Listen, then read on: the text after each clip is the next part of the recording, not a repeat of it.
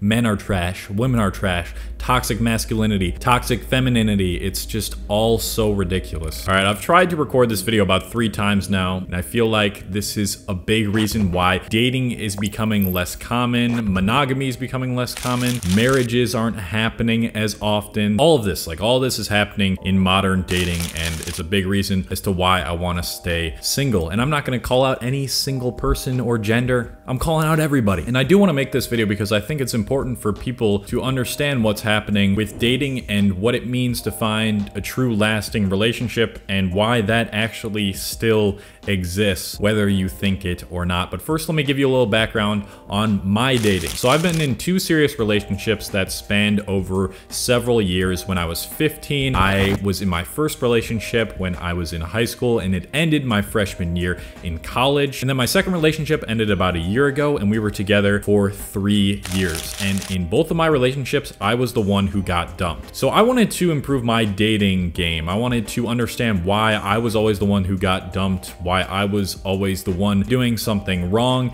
And like so many other teenage young men, I decided to go down a very dark hole. And this is something that I like to call the red pill rabbit hole. If you aren't familiar with the red pill community, I'm sure you probably are because the majority of people who watch this channel are watching red pill videos. I can see it in my analytics. The red pill community is basically a dating philosophy for men that says you should only focus on yourself and female nature is like females are hypergamous. They're always going to want more and they always think they can get more. Men are the actual prize in the relationship and basically just putting down women, even though they're not trying to really do that. That is how a lot of the content comes off. And so I was continuing to binge watch these videos and I was getting so salty and I felt like women were the problem. Women were the reason that dating is going to.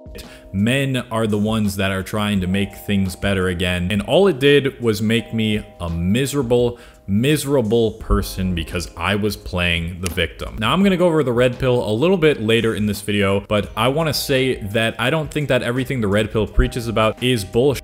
But the type of people that those videos attract and the type of mindset that you subconsciously get from those videos is not healthy. So let's get into some of the reasons why I am choosing to stay single for right now and why I think modern dating is going the way that it's going. First off, we have the unrealistic expectations. This applies to both men and women, and it's all due to a few things. I mean, social media is a huge part of it, and also men watching dirty websites, and I'm sure that this affects women psychologically in some way as well. So for the men's side, you know, when we watch dirty websites, and when I used to, I certainly know that I viewed women completely different. I just viewed them as an object and I would only think about having you know what with them. And it also completely skewed up my version of what I thought women looked like because what you see on dirty websites is not at all what the majority of women look like in real life. And so I found when I was really addicted to this that I wasn't attracted to women who are actually very attractive. And so my expectations and my standards were so screwed up and how women actually act was also screwed up. And because of this, because so many more teenage men are now doing this and not seeing a problem with it, they view women in that way and it's not how reality is at all. On the opposite side, I also do think that a lot of women have unrealistic expectations when it comes to men, and this is also fueled by social media. One thing that I don't think women understand is how many more options that an attractive woman actually has as opposed to a man. You know, I feel like it's harder for people who get a lot of DMs and messages every day to stay committed in their current relationship because they know that they have so many possibly better options. And so they're constantly being promiscuous, constantly flirting with other people, getting validated online. And again, this could probably apply to men too who are attractive and good looking. But in most cases, what I've seen is that women get this type of attention more than men do. Something I'm also very, very passionate about is masculine and feminine energy and how that is playing a part in why people like don't understand how to act in relationships. You know, I made that video why men are weaker than ever and I still stand by the majority of what I said in that video. Decreasing testosterone levels in men is not good for any reason. Testosterone in men balances their hormones, increases their libido, they're less likely to get depressed. Testosterone is important and it is becoming decreased through, like I said in that video, comfortability. I think that dirty websites are playing a big role in it. Honestly, probably the things that we're eating, consuming, even in social media, consuming that way. And to me, it feels like men are understanding less and less of what it means to be a man in the relationship. And I feel like this was a huge proponent as to why I was always the one that got broken up with because I didn't understand my masculine energy and harness it to its maximum ability because every woman naturally wants that masculine energy to come out of that man. They want men who are purposeful and driven and are able to face adversity and I was not able to do any of that in my relationships really. Like I was still like a teenage boy and I was acting like one. I like would not grow up. And so I do think that this powerful energy is coming less and less often and the same with the feminine side. Feminine energy, I believe that women think that feminine energy is not as powerful when it absolutely is and is just as powerful as masculine energy. And so we have men who are less masculine and women who are less feminine. And so it's kind of just like this meshing of energy. It's like one singular energy, and people are so confused as to how they're supposed to act or how the relationship is supposed to go, and it gets fucked up. These two opposing energies within a relationship are important, and I'm not saying that men have to always take on the masculine energy role because they can take on the feminine energy role, but that means that the woman has to take on a more masculine energy role. These two things, these need to be opposing sides instead of just like this one conglomerate that they are now that I feel like they are. And I'm not saying, oh, we got to get back to traditional masculinity and do all the things that men used to do, but having masculine energy and having feminine energy is important. And all of these dating philosophies, these new dating philosophies create a lot of doubt within people.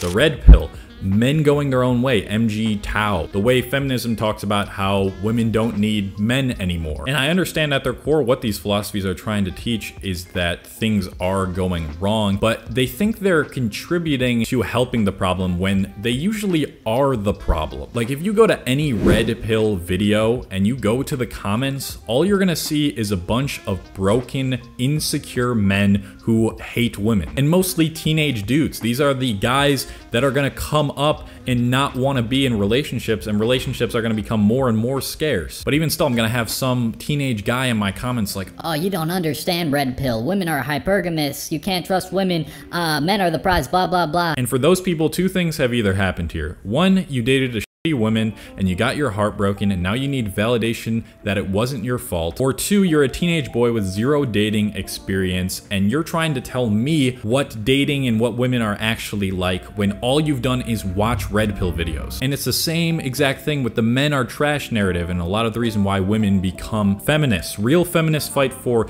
equality and the fake ones are the ones that are insecure, have had their heart broken by men and now say men are trash, men are the reason that everything's going to shit, it's men's fault. Like I know I'm getting kind of mad at this, but it is, it's frustrating to see such a divide between men and women now when they don't under, when both of us don't understand that we're both causing some sort of problems. And then we have men and women who try to get back into relationships and they wonder why they keep attracting these shitty people. It's because you're broken. You're watching the red pill videos or you're like trying to to be a feminist that isn't actually a feminist because you are insecure and you are broken and you don't actually love yourself. And until people wake up and understand that this is happening, I, I want to stay single pretty much. But I just don't think that I will forever because here is what I want you to take away from this video. Enough ranting, right? You know, I've said enough about this topic. It's that there are still amazing men and women out there. You are way too heavily influenced by what these people are telling you on the internet or terrible negative stories that are happening happening in the news, it's primed that way because people are attracted to drama and negativity. There's still so many amazing men and women out there. Albeit, I do feel like it's more rare nowadays because people are way too influenced by what they see on the media, but it's still possible. And I don't think that you should be scared to get into a relationship if you've never been in a relationship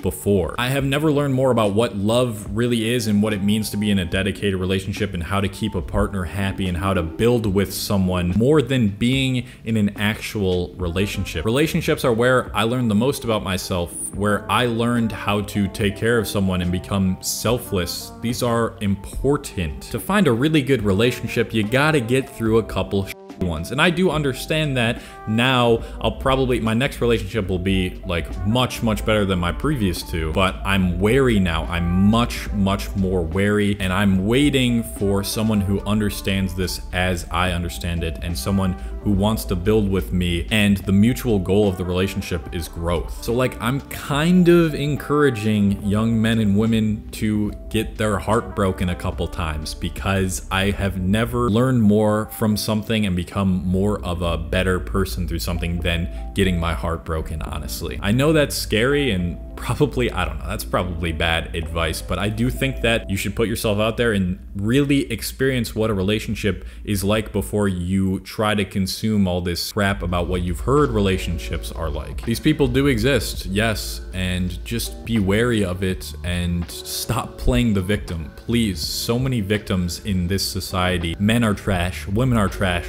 toxic masculinity, toxic femininity. It's just all so ridiculous. There is no toxic masculinity and there is no toxic femininity. There's just shitty broken men and there's shitty broken women. Plain and simple. And by continuing to complain about men or women, you're just contributing to the problem. And so because most people are too influenced by that and don't understand masculine and feminine energy, most people are not worth getting in a relationship for. And so I would really like you to stop being so influenced by a certain bubble, the red pill bubble, the feminism bubble, and actually go out there and experience what dating is like. More than one person or two people that broke your heart. Heal from that, genuinely heal from that, and don't hide within a community that promotes against the opposite sex just actually grow from this experience and learn from it, and then you will attract better relationships in the future. Thank you to all the patrons on this channel on Patreon. This is a platform where I'm putting out exclusive videos, blog posts, and podcasts that you can't find on YouTube